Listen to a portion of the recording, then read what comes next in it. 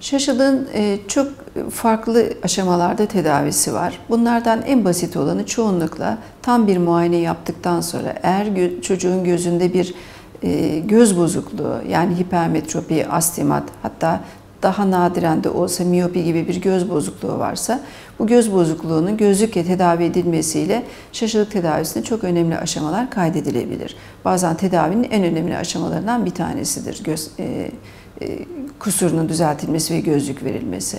Bunun dışında e, göz tembelliği e, olabilir bir gözde. Örneğin bir gözü daha normale yakın, diğer gözü daha yüksek numaralı çocuklarımız vardır.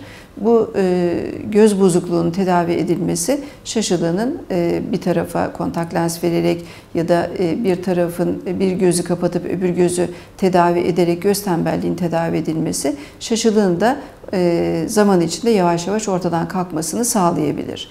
Ee, bunun dışında damla ile bir gözü bulandırmak gibi çok farklı tedavi yöntemlerimiz de var. Cerrahi dış tedavi yöntemlerimiz.